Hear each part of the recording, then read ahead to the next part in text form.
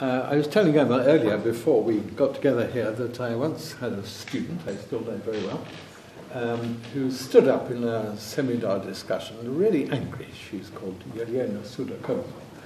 And as you guess, she's a Russian. And she said, John, yes, your history of Russian art's different from mine.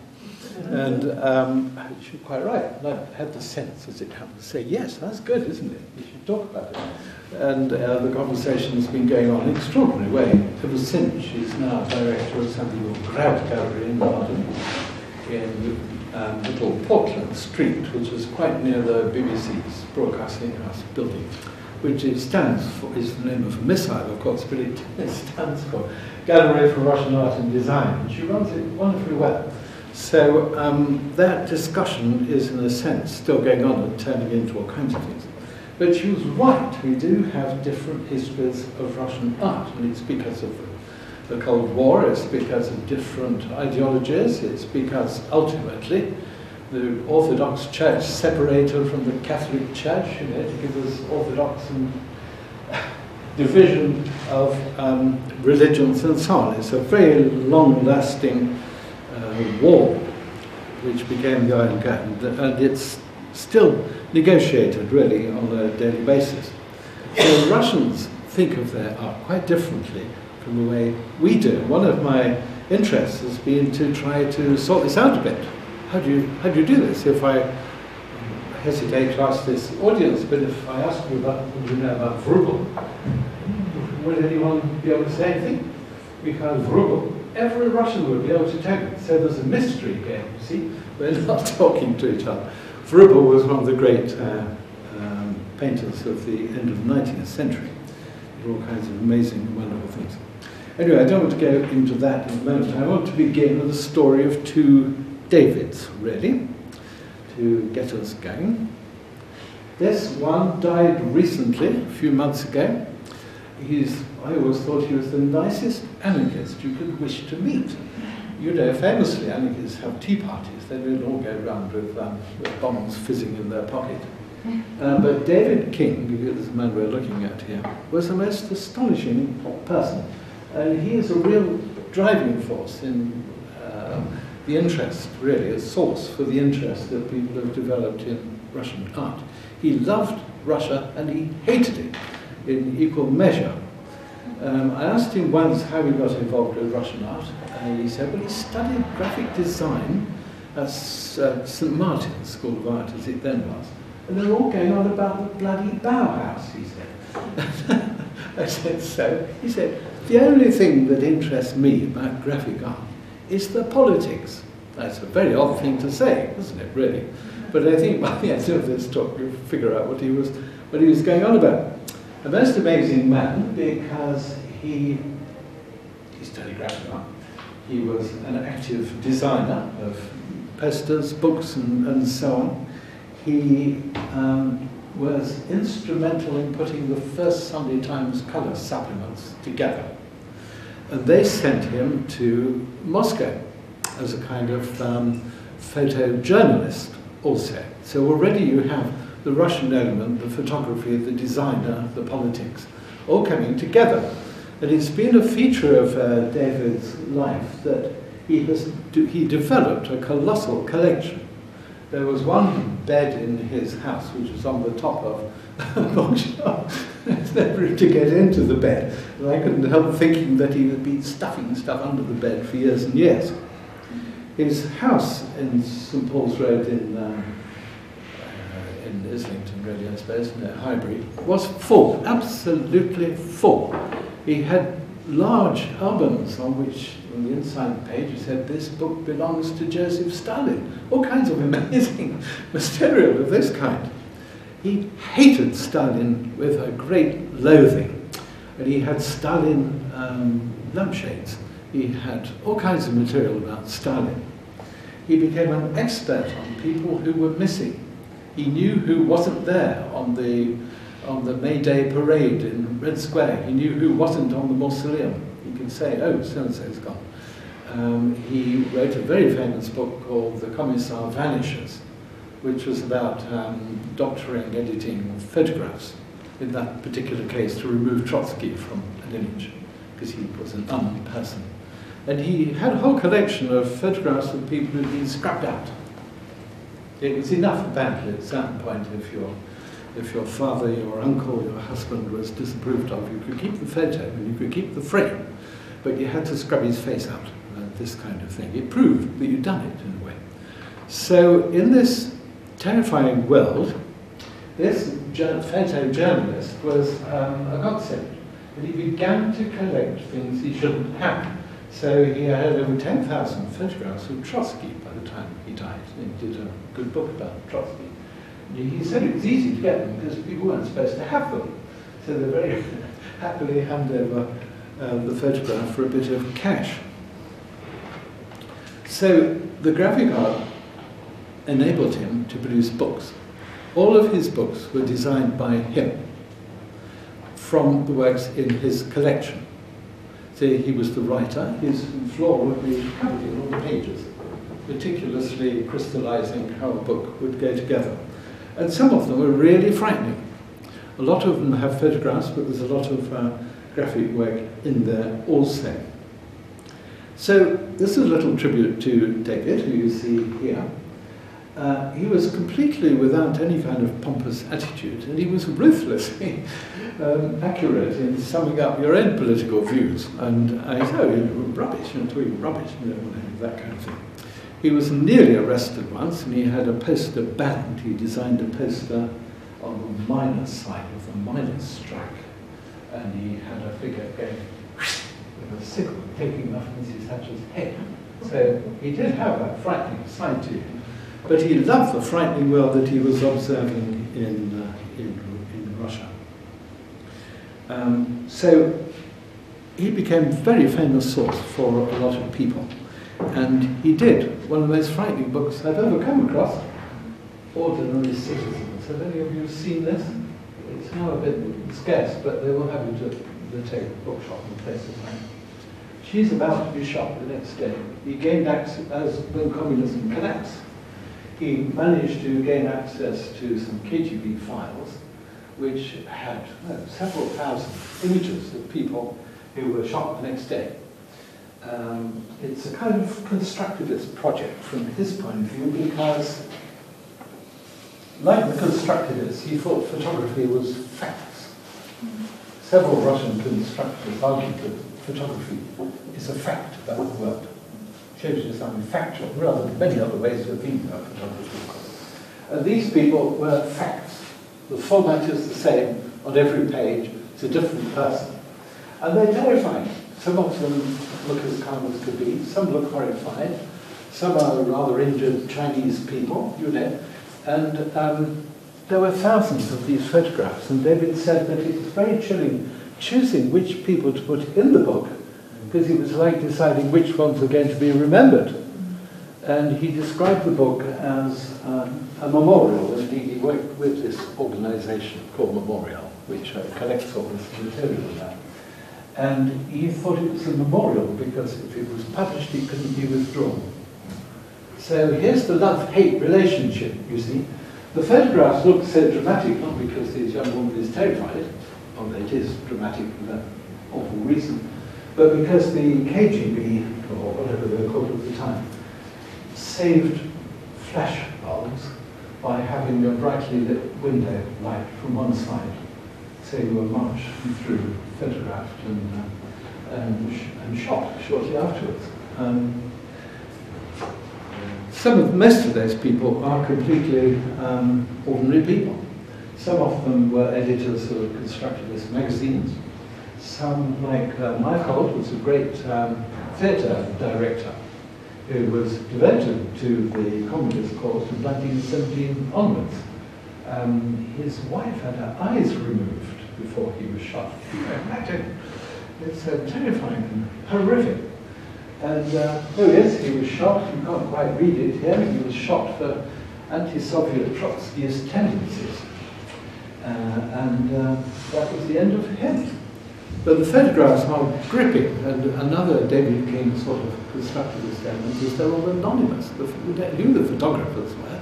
They're just some um, apparatchiks, some soldier.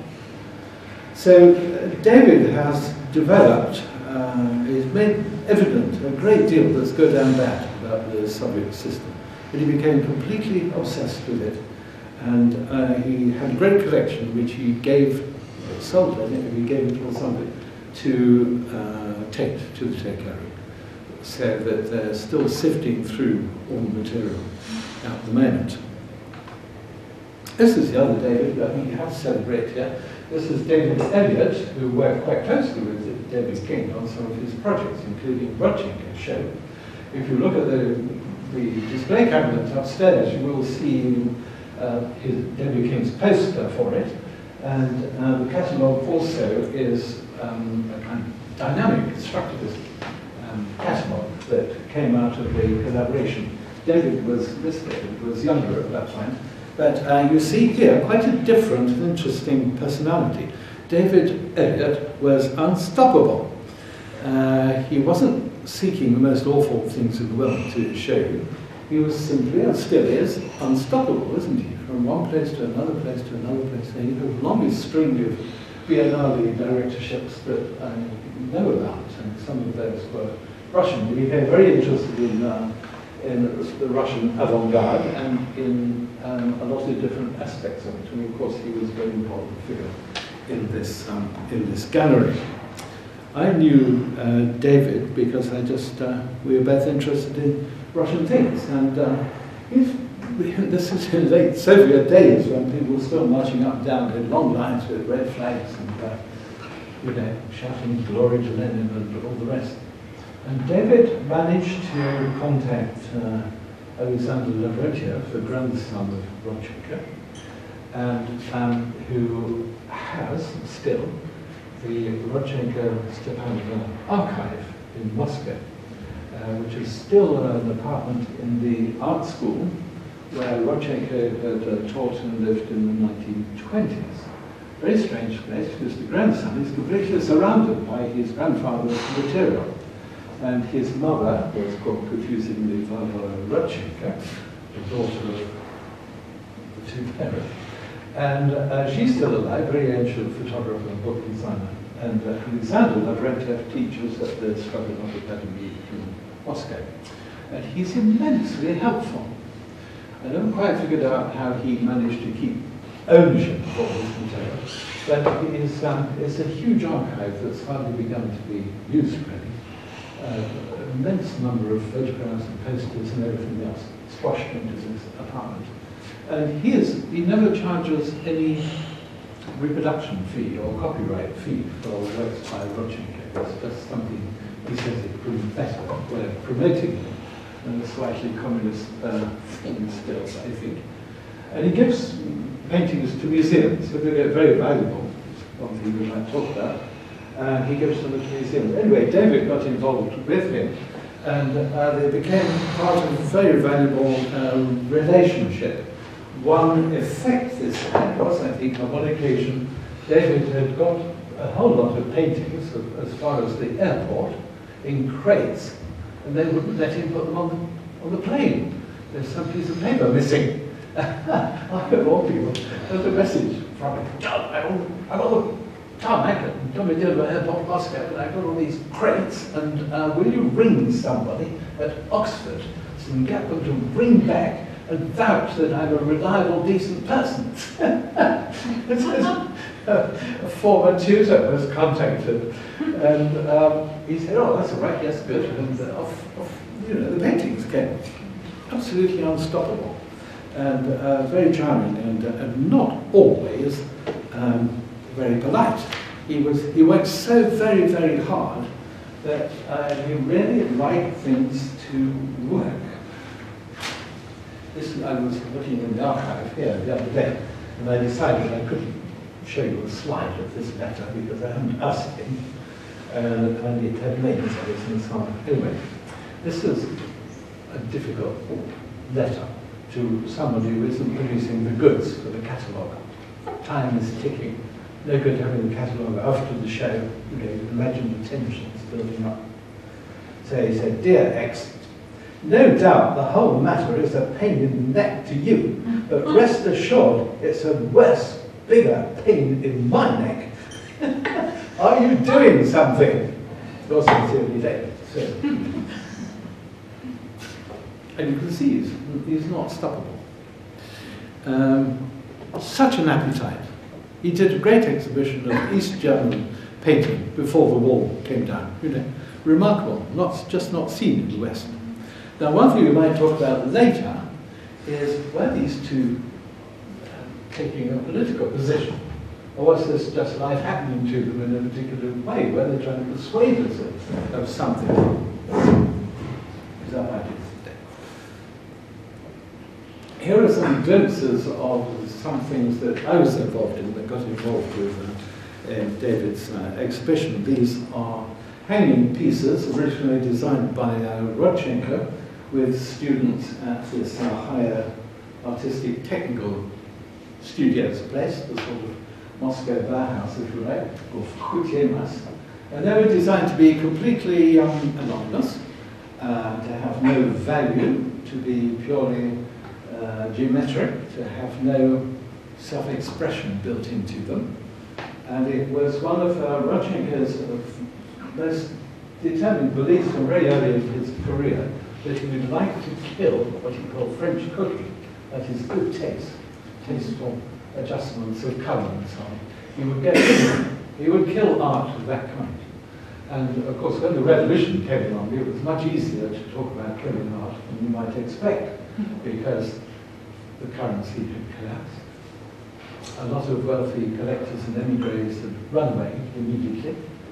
Um, there were no commercial galleries the, um, there were no private commissions. Um, what is an artist to do? Um, and uh, it was very, very difficult. And um, everything was owned by everyone. No one owned anything individually in the first years, in theory, at least, and very substantially in practice. So ownership of luxury goods for wealthy patrons, no. Wasn't that just gone, more or less overnight. And um, this explains a little bit why such a radical investigation of visual creativity could take place. Uh, a lot of it was done on paper, a lot of it was um, um, trying to survive uh, or trying to think out a new kind of culture.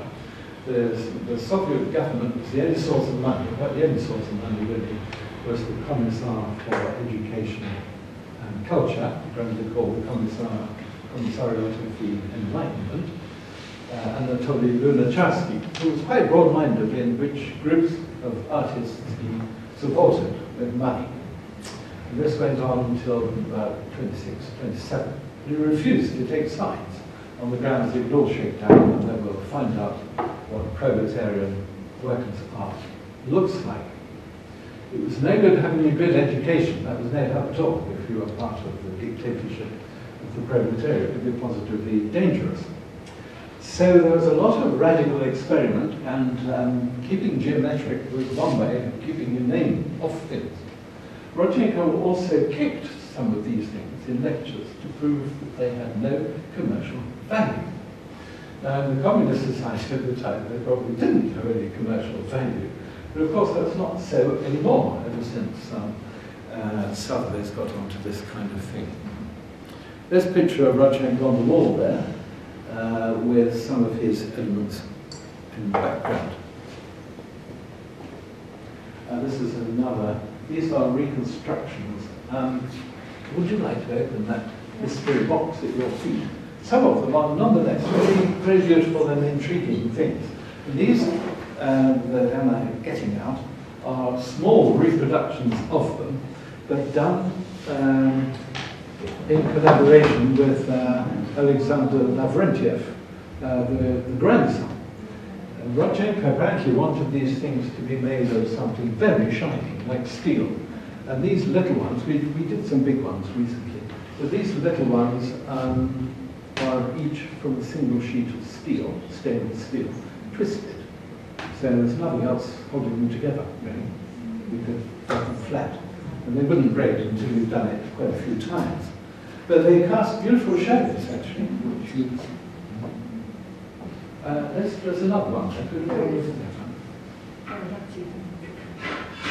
You can have a look at these later. They're very marginally fragile. This one has a thread. It is. Yes. You see, it, it gets to be a bit hypnotic. Rather beautiful.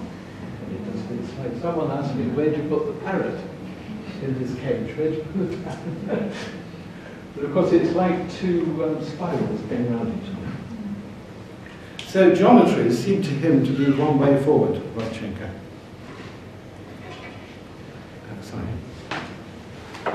Now, here's a spooky photograph. This is uh, by um, photojournalist friend, Georgy Petrusov, portrays uh, Rodchenko with his thick neck and uh, rubbery ears, but also looking back at you. You know, this double exposure, as if you can't trust him, as if he's watching, or as if he's saying something else to, uh, to his minders. I think it's rather a brilliant image of the time. It's the first sign we'll see, we shall see, of Rodchenko having to accommodate to political change in, in the Soviet um, system.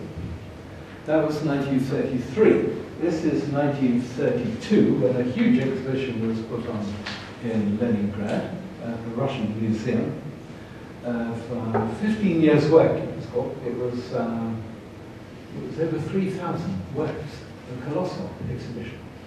And uh, it was a very wide display of things. Um, effectively a bit like pick and mix and Woolworths. It enabled the, uh, the commissars to decide what um, Soviet culture was going to be. And um, here you see, you see um, socialist realist portraits of Lenin going up. Uh, but here, it's amazing, this man is Kazimir Malevich, who did the famous black square geometric abstract designs, and he's hanging these other things. He was given a room of his own at this uh, exhibition, and he's um, he's actually in a very delicate position at this point because he's been um, he's been arrested twice for going west with some of his works, and he was he underwent a kind of water torture treatment. But here he is being recognised, but clearly behaving himself rather carefully. So what am I trying to say in this uh, introduction? You cannot understand this at all thoroughly if you don't take on board the ideological restraints and financial restraints, because the state is the only patron. Simple as that. It's the only patron. And there isn't another one. Uh, all exhibitions were initially called State Exhibition number one, State Exhibition number two, and so on. They were very big shows and very adventurous, some of them. So these people had to learn to survive. And one immediate effect of artists joining, a lot of avant-garde artists joined very brilliantly with the uh, October Revolution, uh, was the decoration of the city with um, all kinds of um, celebratory um, murals, um, paintings hanging on the outsides of buildings, and so on. This is perhaps Rodchenko's first step in that direction. This is very like a lot of his other early-ish um, uh, geometric paintings.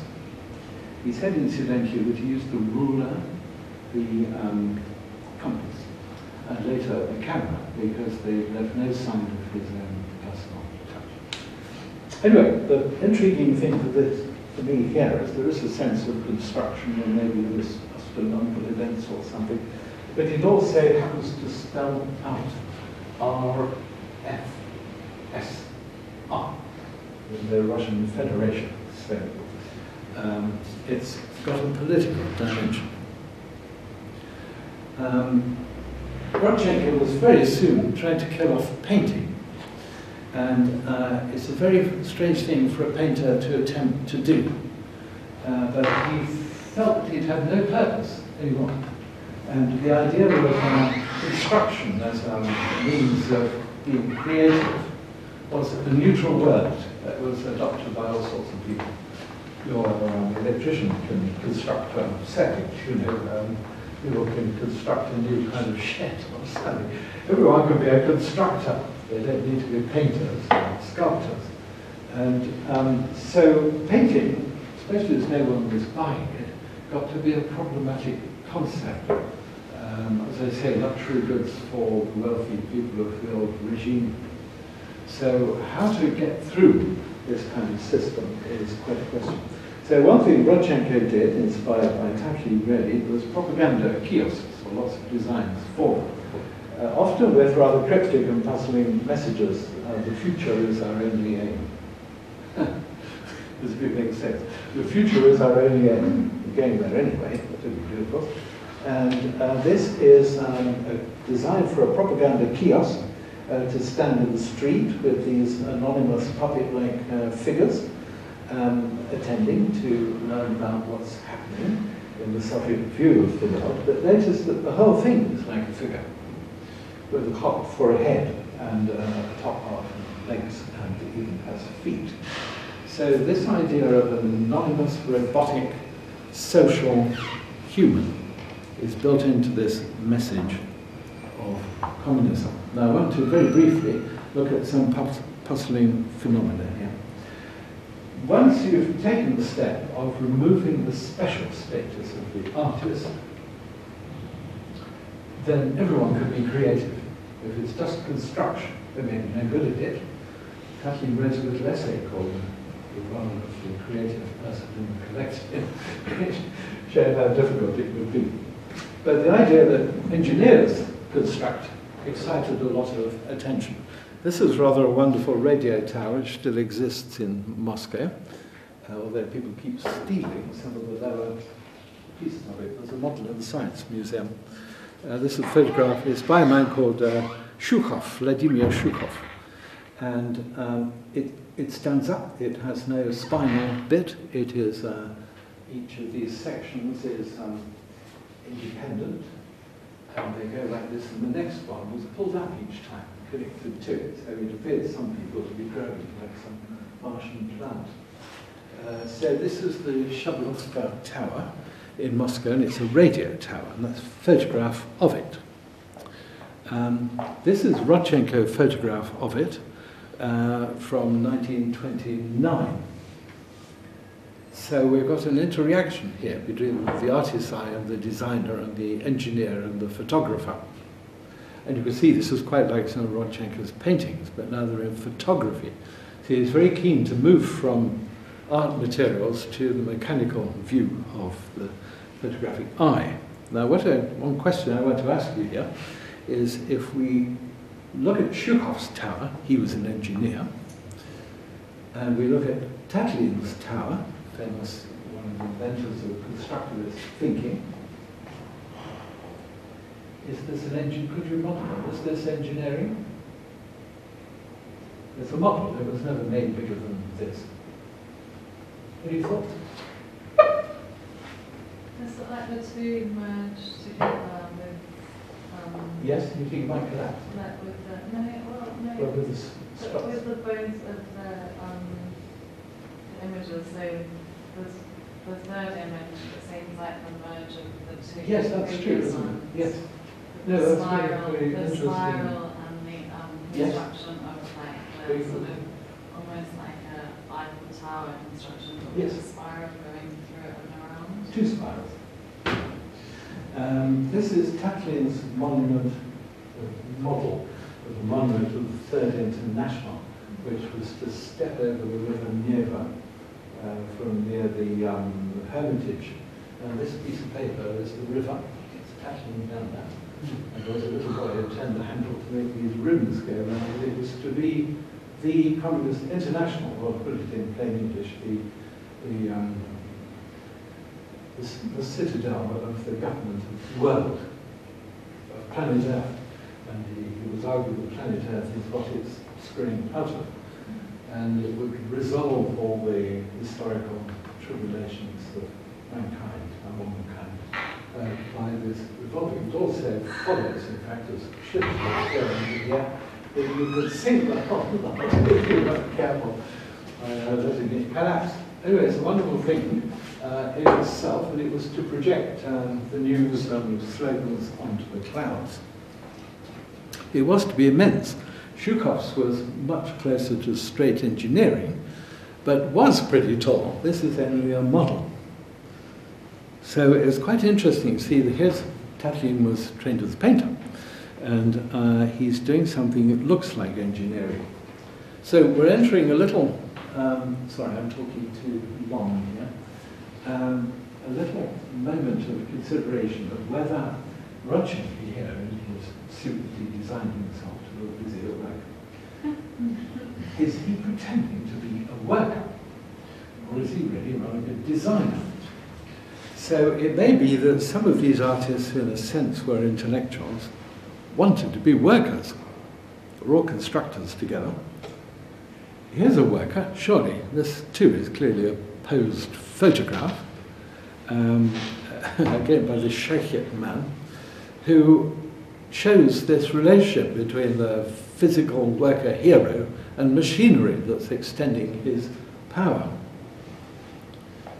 Well, it's quite a peculiar comparison, isn't it?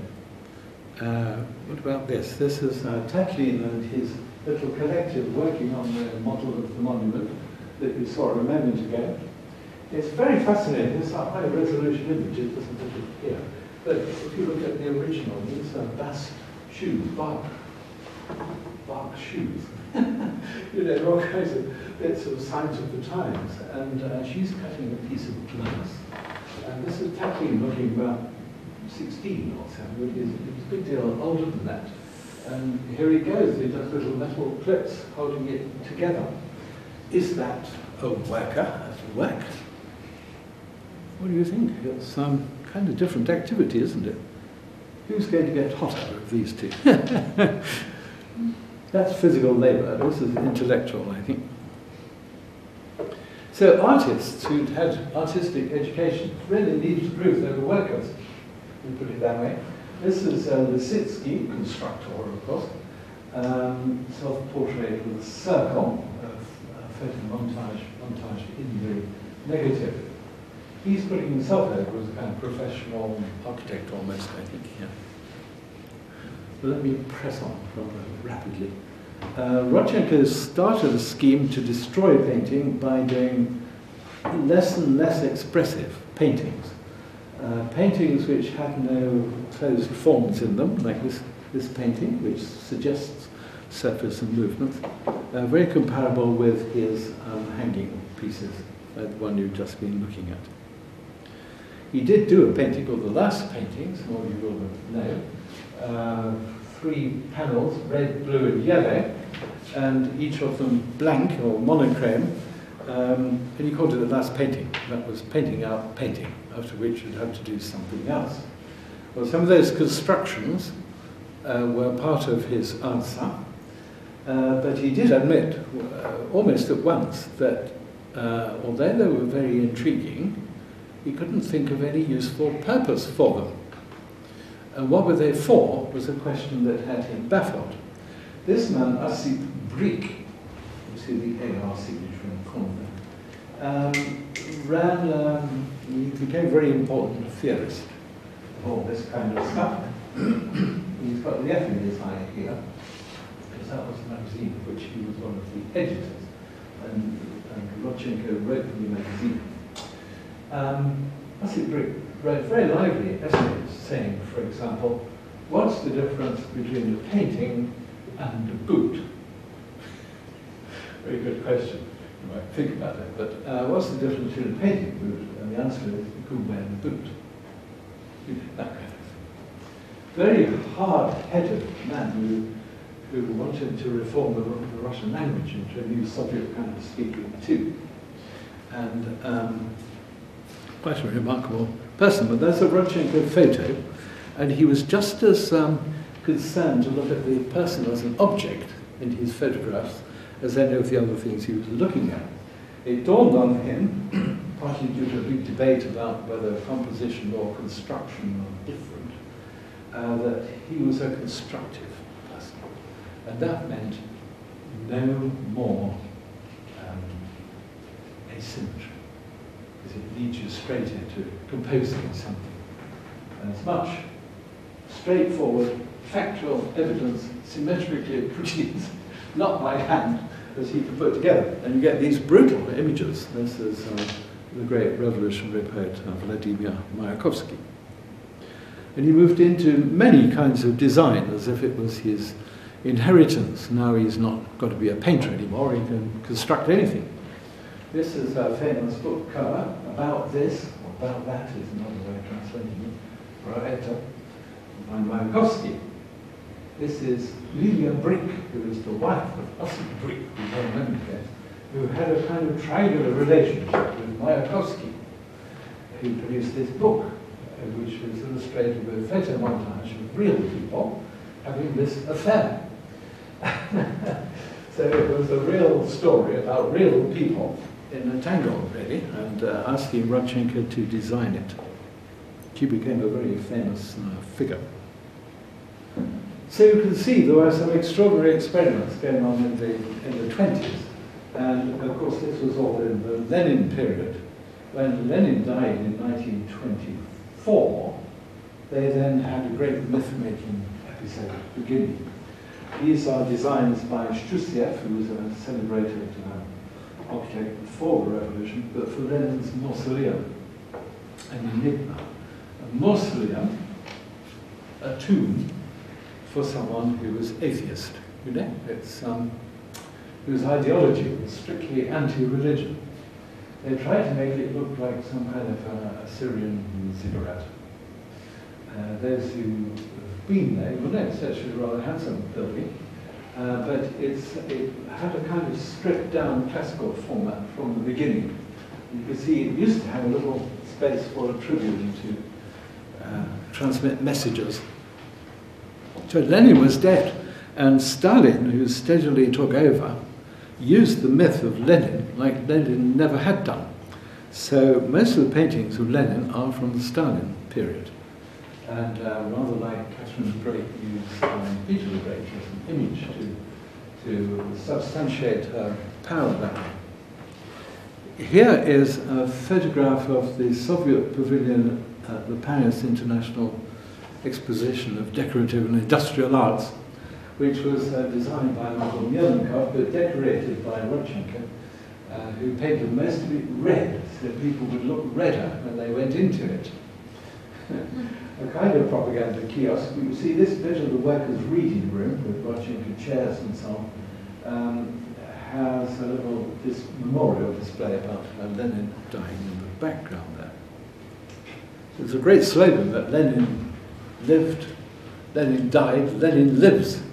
And uh, this adopting of religious imagery, uh, adopting it in most extraordinary ways, was a powerful way of erasing Christianity, but using the dates in the calendar in a whole new way. For example, uh, there was an icon painting workshop that continued through the revolution in a place called Palekh. And the idea was that these chaps began to starve, they, they could do little paintings, icon-like paintings, but they would have Lenin in them instead of Jesus and so on. So um, I saw one of these which had Lenin rising to heaven. Um, the angels receiving him, archangels I suppose, had six wings except there were red flags. You know, otherwise it looked exactly the same. Uh, Rodchenko in the 1920s took on um, a sort of photographic reportage of the city life of uh, Moscow. They're very splendid, some of these uh, photographs. He thought they were impersonal, they were just the life of the city. And increasingly from this point, uh, images of people in his, in his works are anonymous. It's as if the collective is what he's depicting. Here's a, a sort of glorious image of uh, Lenin pointing out that uh, electrification is now underway and it's going to give power to the whole of the uh, system. Um, and uh, here is uh, a lot of imagery was picked up in that way. So it seems to have come down from the government. And they appear in films, in books, in paintings, and, and so on. So here is an electricity pylon photographed by Rodchenko like some great, bit like the Tatlin Tower, some great mechanical human now, we've seen Rodchenko being a painter to a constructor, a designer, a photographer, as a way of getting out of art altogether, really, doing something a bit different. It was argued amongst constructivist theorists that um, the ultimate material with which creative people should work is the social mass of people. So in the first phase under Lenin, there was a kind of dictum that art should be collectively produced. Artists should be squeezed out of their studio. It should be produced collectively, not just one person scratching his head thinking, where's the real me, that kind of thing. It had to be alert to the political demands. And thirdly, it had to be public in its expansion. So some things like theatre and so on much more able to achieve this. When Stalin began to get a grip, um, he not only permitted Lenin, but changed the whole system, of course. He had a different triad of requirements. The first was narod, the, the, the people, the people as a country, you know, narod. And then um, next? Idealnost, you had to get your ideology right. And then partimnost, which meant you had to toe the party line. So narod meant really in so many words, it meant communism in one country. Do as you're told, or do as the party tells you, and get your ideology right. So you couldn't just launch into some new artwork. Now what proved terrifically important in this field is photography. Now we've seen ways in which, reasons in way, what will come in a few minutes, why Rodchenko took up photography. He was a painter after all. He learned photography from photojournalists, from the trained photojournalist. And um, the one, one wonderful feature of photography, sorry this is a poor slide, it's a wonderful photograph, is that it's convincing. That Rodchenko and others could depict people again, instead of just circles and squares and lines, but not, didn't have to paint them or touch them or anything. They were just uh, images on a piece of paper. And they were completely, they could be completely convincing, because people could read so easily. None of this fancy pants geometric art to deal with. So here's a case. This is a little known uh, photographer called Bobrov, two peasant women hugging. It makes you smile if you Well, it's such an extraordinary image that you can believe they really loved digging that road. yeah, life's great if you're digging a road. They're lovely. And it's so persuasive, you see. Art could never be that persuasive, painting. So here, uh, we move into this uh, Stalin phase, very, very briefly, because I'm talking much too much. The pioneer. Children became pioneers if you're really good at it at all. And they used the word we. You were never allowed to say, I want an ice cream. We are doing this or that. And they managed to achieve a kind of uh, collective identity, which means that even when you look at a Rodchenko photo of a pioneer like this, you don't know who he is or anything. So it has this sense of anonymity, of part of a collective, of a militarized group, of um, a sort of type, not individuals, but types of people. Uh, here's Deineka, Alexander Deineka, who became very celebrated socialist realist person from the mid-20s onwards. Uh, socialist realism was launched more or less officially in 1932 time of the big exhibition language. And this is, sorry, it's a, very expensive, enlarged slide. But this is called Lunchtime on the Donbass. They've been working in the lines. And you can see, I think, pretty clearly that they're a, a group. They're determined, they're defined by their work.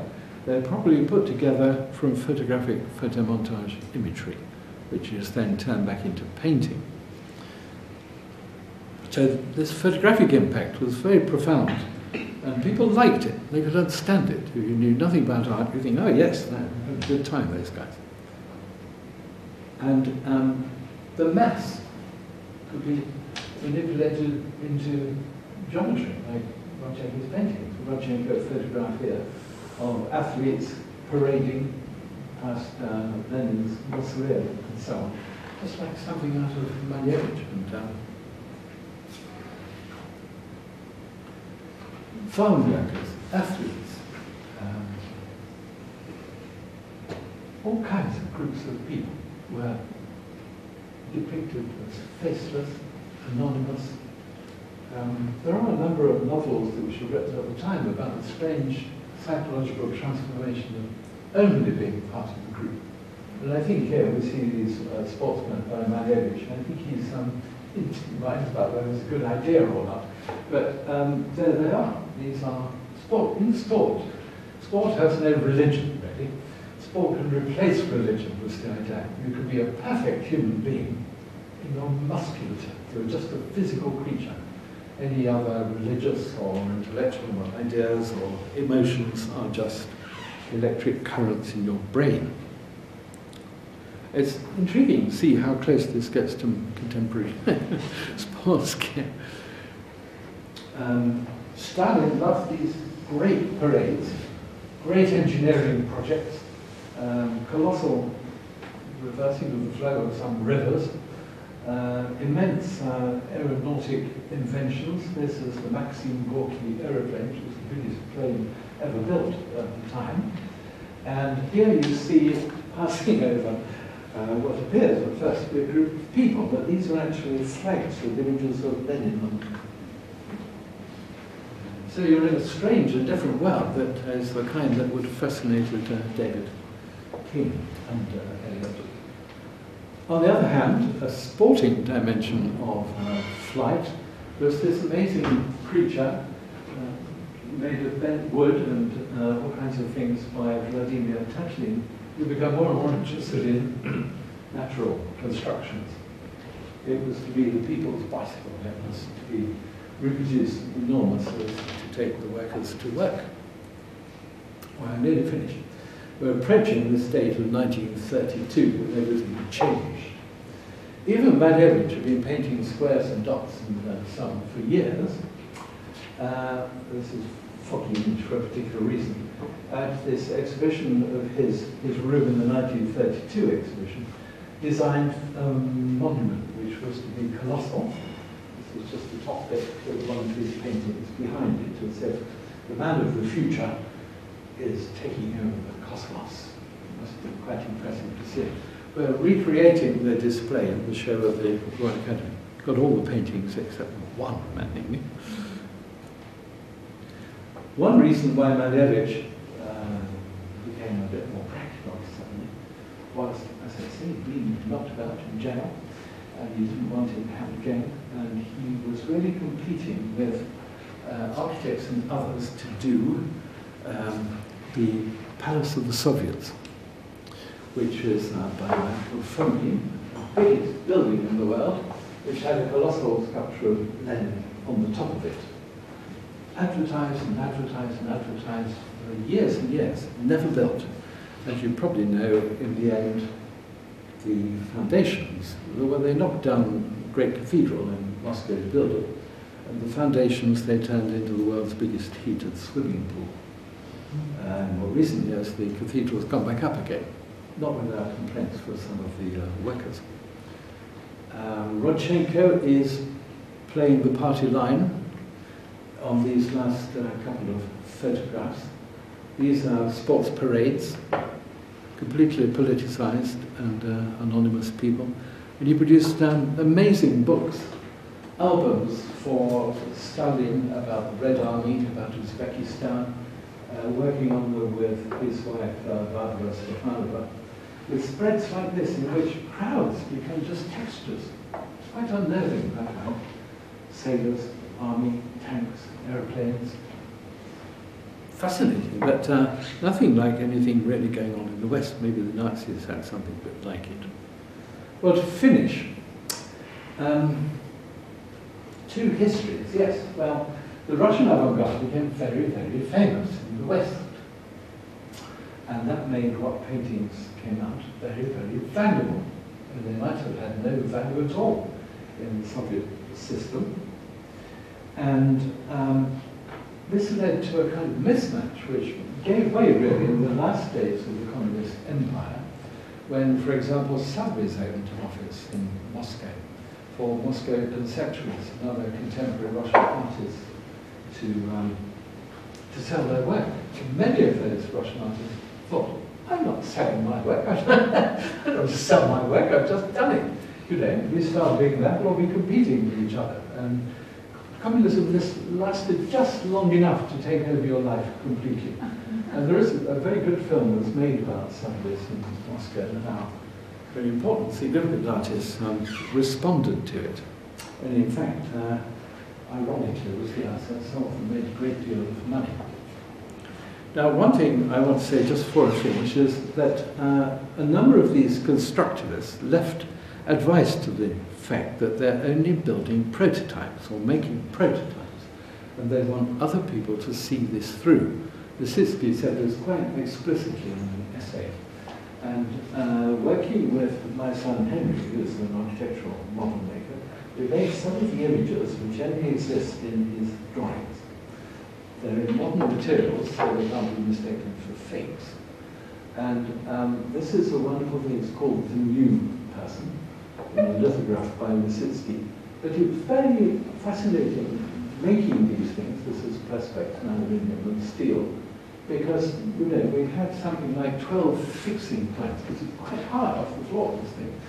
And it didn't look too. I thought it might fold out like scissors or something. And it gave the strange feeling that maybe he had done it, you know?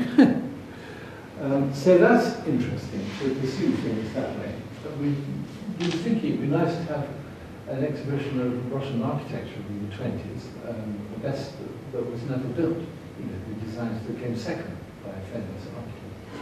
Um, this is um, the new person. Um, they should have just means a person in Russian. It's not new man as such, new person, neutral, um, male and female, or neither.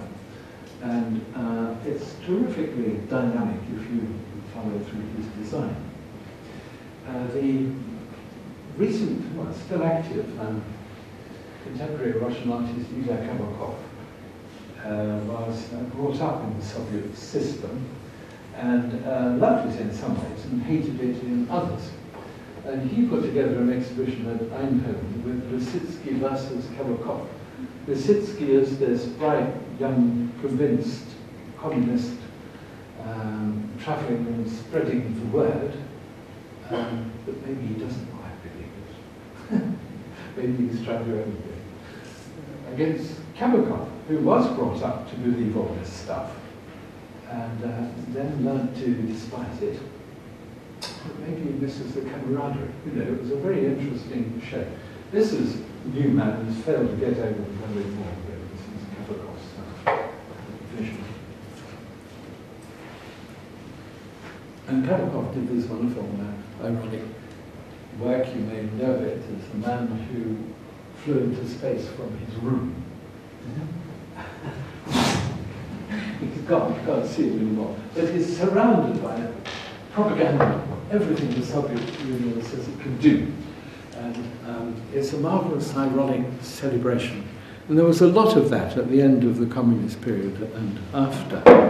So, for instance, here's a man called uh, Ava, uh, what is he called now? Um, Avakun, uh, who does these extraordinary constructions, which are a mixture of famous Soviet monuments. This is both Tatlin's Tower and the worker and collective farm worker, female worker, or industry and agriculture from the Paris exhibition of 1937. But they've got together somehow.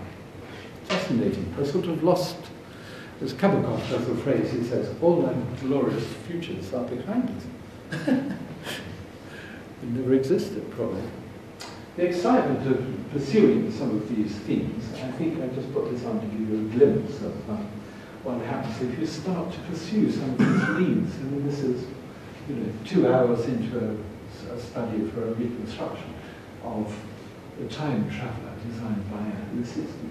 It's already moving, you know, it's a fantastic thing, but let it loose. Um, you've been listening for longer than I should have let you listen, really, but um, that's that. We could talk about things if you wish, if you still have the vitality and energy. What do you think? We've got questions.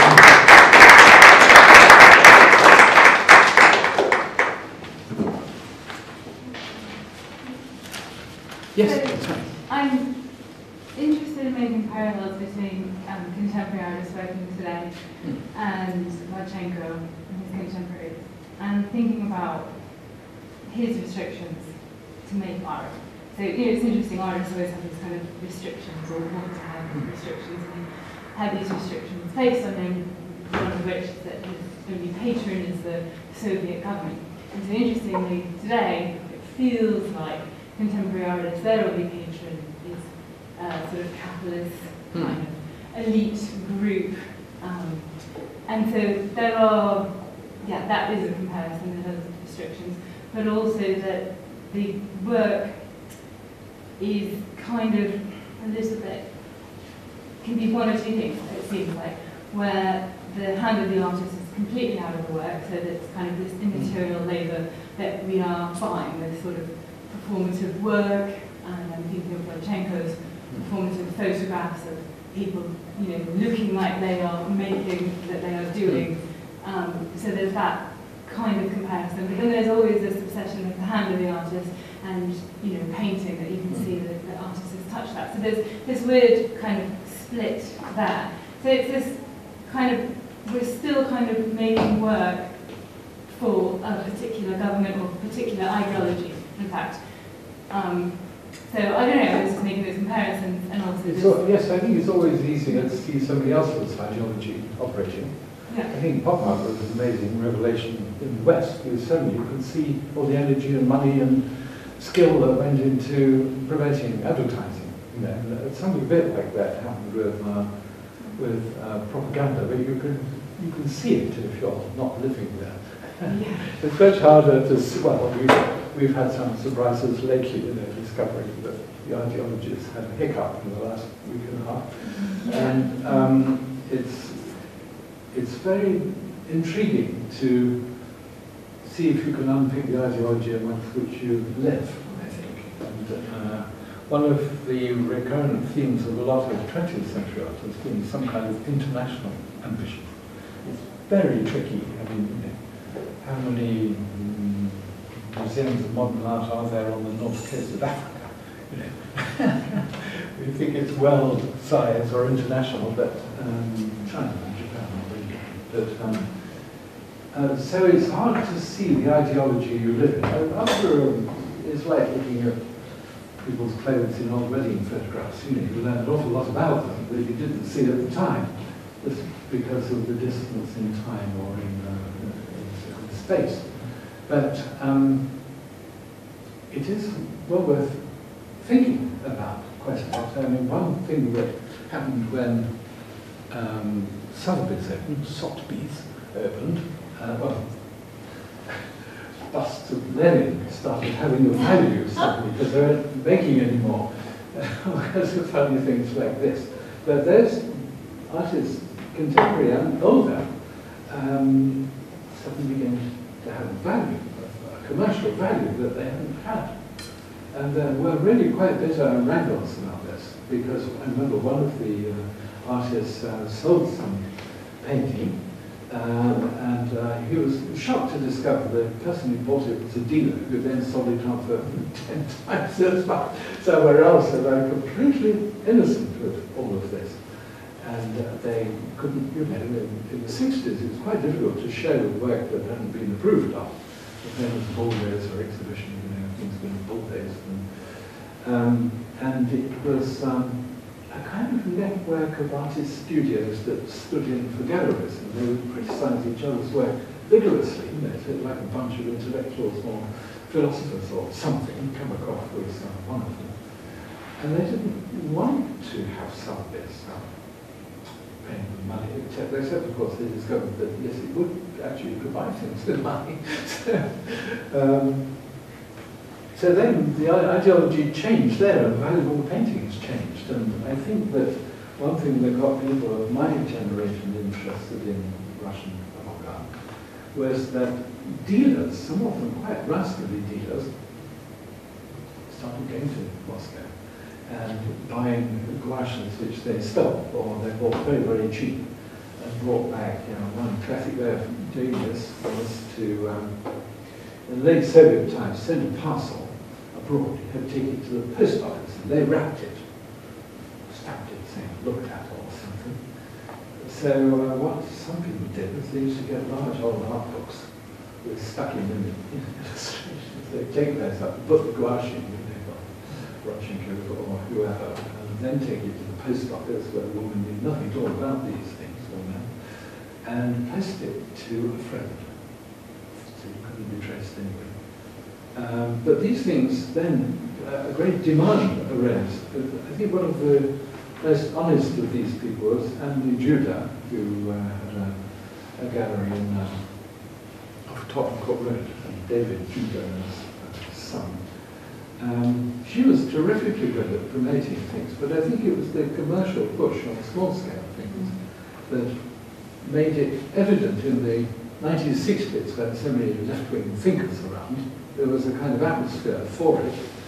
And that, I think, got critics and art historians writing things. Now, whether you think it's a good idea for art historians to write things is, is one question, but it may affect the value of things, you know. So um, none of it is squeaky clean, I think, and there are an immense number of fakes around.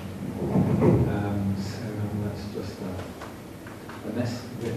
But um, I think that's one sign of this change of value. You know, the Kostakis collection was very famous, of Papados and Marchenko's and all kinds of people. Uh, but it was because he was um, a Greek gopher, really, a man who worked for the Canadian Embassy in Moscow. He, would, he was the reliable man who used to collect people from the airport, diplomats and so on. And as he wasn't Russian, he was sort of Greek-Canadian, um, he, was, uh, he was able to collect works, and established this enormous collection in his studio. And when he retired, it was one of those um, thing with the dam arrangements. When he retired, um, the Ministry of Culture, Soviet Ministry of Culture said, you can't take them. Until that point, they'd been denying they existed or describing them as rubbish. but they had to say something there, and in the end, a deal was done that Kostakis kept half of it, and they got a lot of splendid things for the Tretyakov gallery. But then there was one of these cracks of opening up um, the, the, system.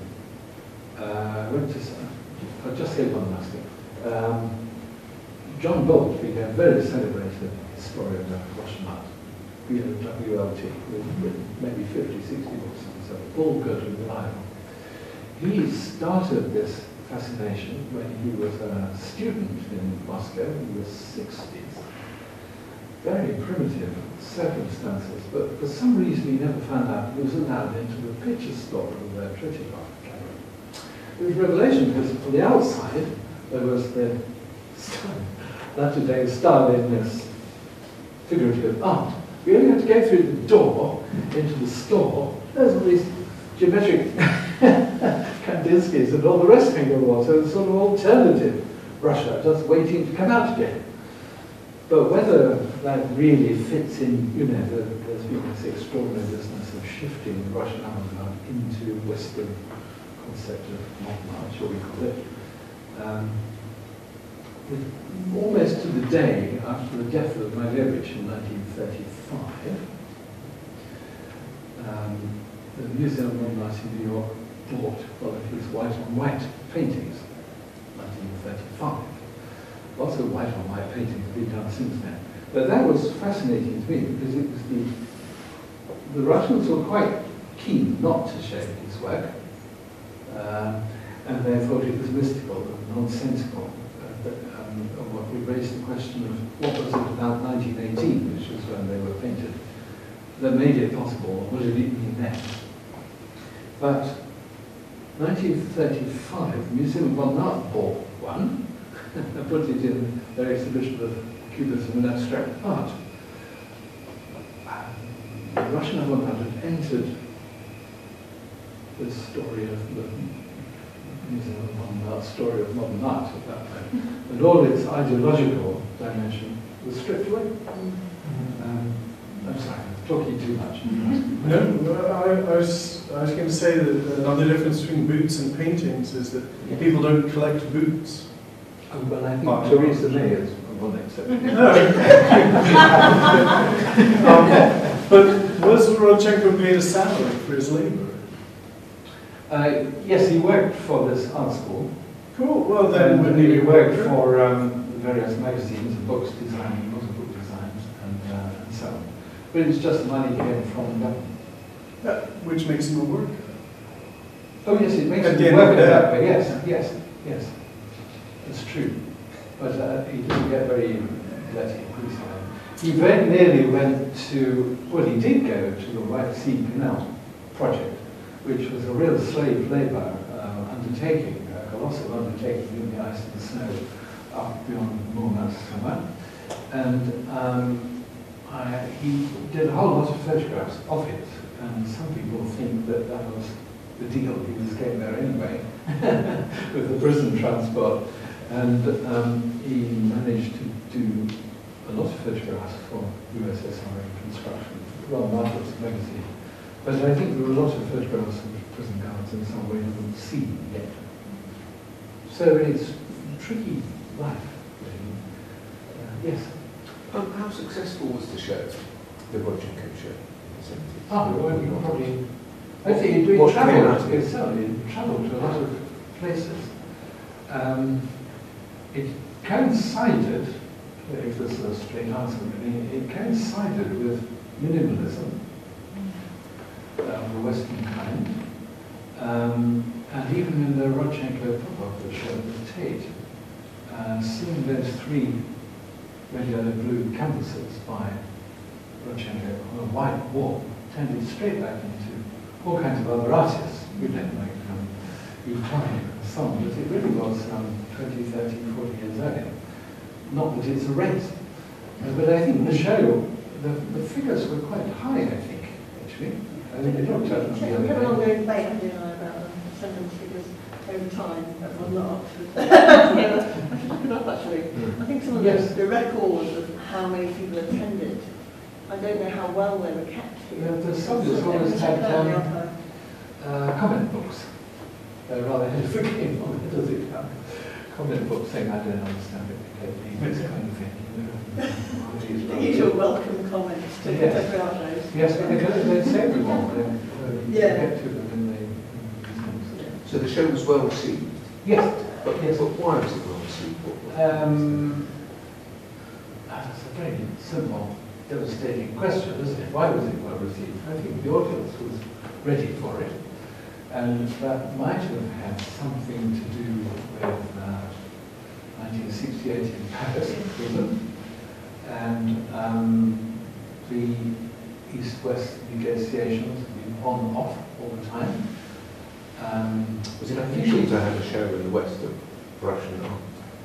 Of that kind of Russian art, it was, yes, since Getting the 1930s. There was um, Venice Biennale in 1932, where the Soviet movement wouldn't open for months because they were waiting for instructions for what to hang on the wall. Uh, you know, and the, um, We tried to put on a Mayakovsky show two years ago, yes, but it fell I down. know, I, I wish I'd uh, been able to do something about it. Well, Yeah, okay, David idea. Was trying to do that. Yes. Fell down because we couldn't get the people in Russia to release the work. Because the price kept going up. Yes, yes. The obstacles being put in the way. Yes, yes. They can No, it's, it's got its own. Removed. It- it- financially. You won't be pleased today, it has quite a mythology own. Let's show that, a bit like if you know the painter. Pavel Filonov was given a one-man show by the Russian Museum. But that's frustrating. Hanging on the wall. Mayakovsky might be possible now. Quite a reasonable director. and, um, I think museums are a little bit more independent. It was only a couple of years ago. Yes. I think that's a great idea still, but maybe it's time it's not quite yet. Um, GRAD Gallery is worth mentioning. It's worth going to GRAD Gallery because they do borrow things from the Treasure Box and the Russian Museum and other places. So it's a bit like a little showroom that they can use in London. It's um, there's a show called Superwoman at the moment. and the subtitle is um, Work, Build, Don't.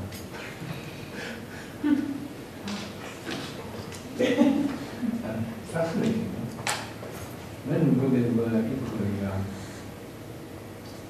important, which of course means that the women had to do hard work, both kinds of hard, hard labor. Uh, Like today. a bit like today, yes.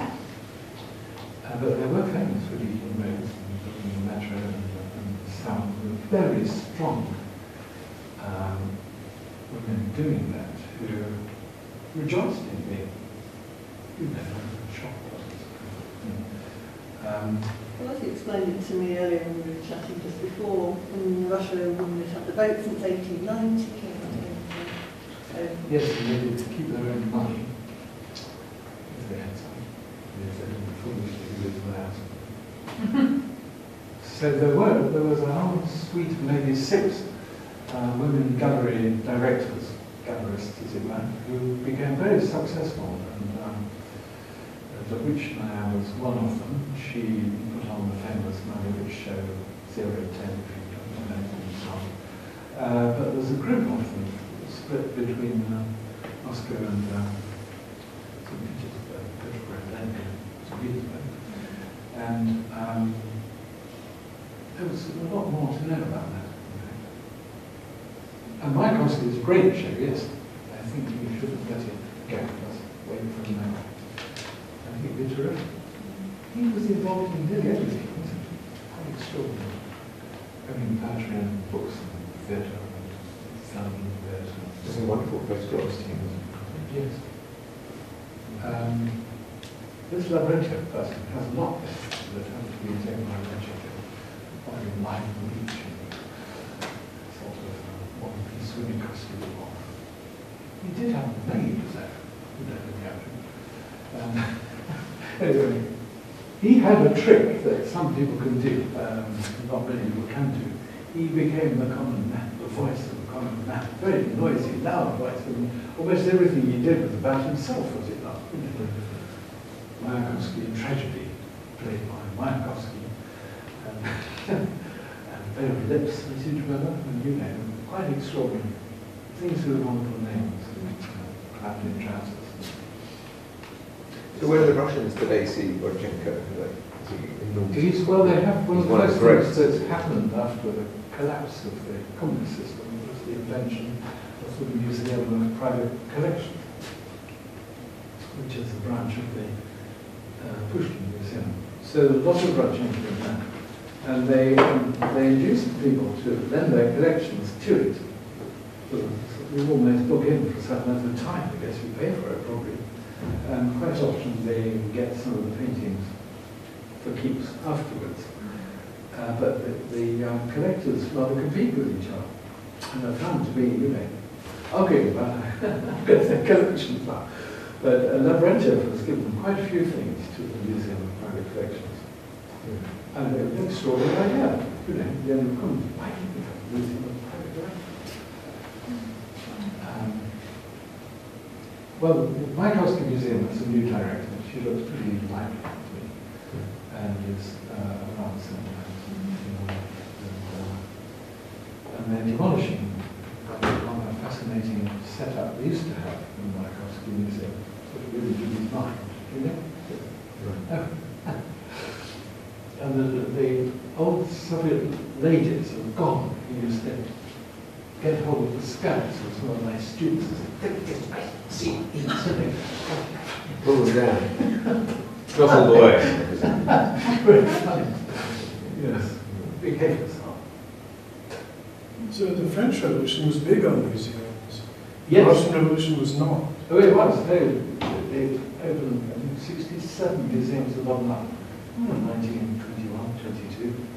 They only ever got, you know, sort of what works in them before the whole setup was changed. But um, Rodchenko was deputy director or director of the Museums Bureau. All private collections were, know, all of them were nationalized, was the word they used, uh, Shchukin and so on. There's a big Shchukin exhibition coming up, actually. He was this, you know, famous uh, international um, businessman who involved. He was Matisse's main source of income before Zorgelman. And um, in Mother's collection, I sort of Picasso and Matisse. You can see things in Moscow, because he opened to artists on Saturdays. You couldn't see in Paris at the time. But, uh, The Russian exhibition at the Royal Academy had Yes. lots of these paintings. it's true, yes, yes. Yes, and a descendant was around too. Uh, I heard him speaking on the radio. He said, how do you feel about seeing these paintings in London that once belonged to your, your father or your grandfather? Wonderful to see them. He said, good, well. Our paintings. said. That's as far as he went to complain that our paintings look terrific in the Royal They just took things. There was something. Gorky was in charge of called the art dump. And they just took things, and that was it.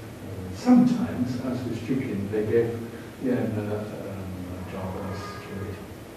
But uh, Strickland didn't, like it. It's a know, um, they had such a terrific effect in this collection. First book on Picasso was in Russian. 1940, but 1960 published. Um, but they were independent, you see. They were merchants, they were moneyed merchants. Uh, involved with textiles, usually, or railways, and they, um, they could buy what they liked. They didn't know what the Tsar was like. It wasn't a kind of court downwards arrangement. And they were Muscovites, and they thought that St. Petersburg was another country, really. So the, so the entrance, did you say sixty-five or sixty-seven? I think it's 67, I might be quite... By nineteen twenty-one. They were in godforsaken places, places I'd never heard of, Ufa. And, uh, the, uh, Kandinsky, when, you know, he, he did everything wrong. In, in the, um, when the war broke out, the First World War, Russians were not welcome, and especially um, Kandinsky was. So he moved everything to Norway for a bit, and he said goodbye to um, Gabriele Munter. But he took a lot of big paintings with him. It would be quite interesting to hear about the logistics of our ship, I suppose. Is that? Um, big ones, yes, major paintings, and I think the big ones are. And uh, some of those he he was also working with the Museum of Europe, but some of those went to these museums, and I guess the Museum of Europe probably bought them from him. So what function did the communist see these very many museums serving? Well, they In the didn't- New well, World. Yeah, one of the reasons for embracing in avocado is they want to get away from the taste and style of the film regime. And um, obviously, most people thought they were rubbish or nonsense. You know. So there hadn't been very many modern art museums before the revolution. Uh, yeah, yes. In Russia? Um, well, I don't want to be too mean about this, but we just haven't heard all that much about uh, Larry on from. Your previous generation uh, who either immigrated or who got basically they got caught by World War One uh, situation. And uh, Jakob, um, Jakob, I think, well, it was never performed in uh, Soviet Union. So, a little glimpse of um, inventiveness and not pain. Um,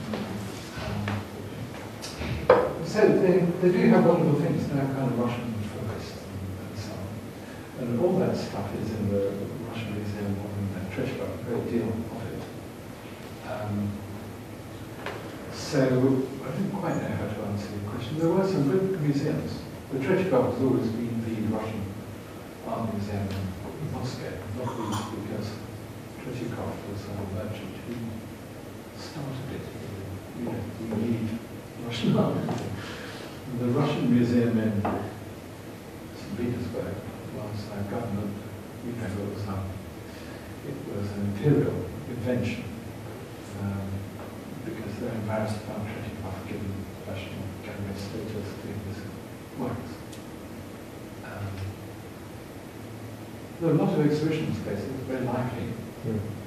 and it was very successful commercial time, really, until the war broke out, and the Tsar decided to run the war, all the rest of it. Uh, Kandinsky went back to Russia for these paintings and other things. He, was, he invented something called INHUK, the Art Institute, um, where he was ousted after a couple of years by Rodchenko constructivists, because he was still going on about the soul, you see, which was the concept.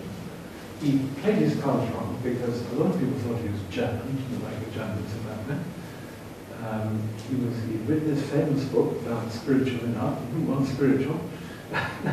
he had an apartment block, which in fact Rodchenko had taken to living in, um, which was the source of his daily income, more or less, and that was nationalized. Um, he invented this art institute for theoretical debate, and he was sacked. And um, so he played it all wrong. He was there, and you know, thought in this exhibition of Yare, when people like Chagall and Kandinsky and some famous names turn up, um, that we should put their title on the label, you know, Commissar or Art in Vitesse or something, just to show that it was a willful act. Um, but all the stuff we've been talking about happens in literature and film, and you know, all the same ideological pressures um, are aware we're all breathing the same air. So we can talk a lot more, probably. It's a huge subject.